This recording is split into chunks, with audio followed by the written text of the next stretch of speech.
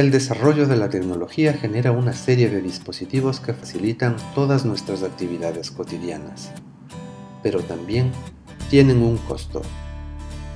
Internet ha generado toda una revolución, similar a la que un día ocasionaron el fuego, la rueda o la electricidad.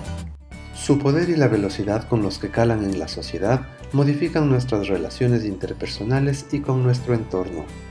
Uno de los sectores en los que más se ha sentido su influencia es en la comunicación. La posibilidad que tiene Internet para escucharnos y amplificar nuestra voz en proporción geométrica estremece los cimientos de los medios de comunicación tradicional y de quienes los hacen.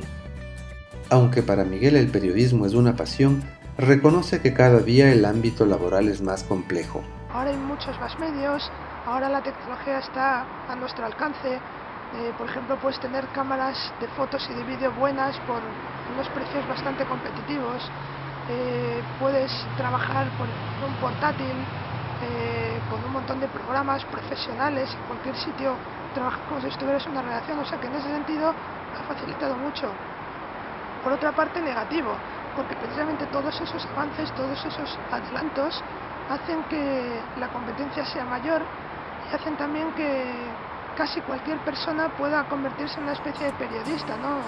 Si el modelo de negocio de los medios de comunicación está en la cuerda floja, es el momento idóneo para que los periodistas emprendan iniciativas propias.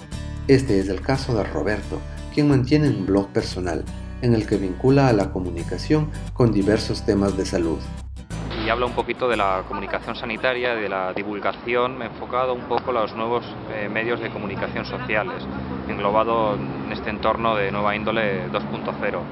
Y hablo sobre diferentes temas. El tema sanitario también lo podríamos eh, enfocar eh, desde las redes sociales y más desde la comunicación online, ¿no? porque hablar de periodismo digital, comunicación online, pues son, son entornos que están muy, muy en la línea de, bueno, de lo que digamos está predominando ahora, ¿no? que todo se basa como, como herramienta fundamental en, en Internet. Y es que Internet no solo provoca una reingeniería en los modelos de comunicación, sino también una modificación en nuestro comportamiento.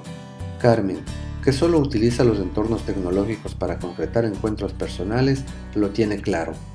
Yo pienso que sí, que la tecnología está, está cambiando la forma en la que nos relacionamos entre nosotros, que los jóvenes usamos demasiado las redes sociales.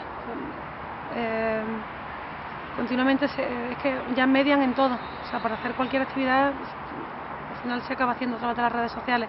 Creo que anulan mucho otras capacidades que podríamos desarrollar si, si no abusáramos tanto de eso. Pasamos demasiado tiempo en Facebook, en Twitter y eso al final acaba un poco anulando nuestra capacidad creativa y de desarrollo de otras habilidades. Aunque la afectación es constante, es muy pronto para definir cuáles serán los reales alcances que provocan las nuevas tecnologías de la información y la comunicación.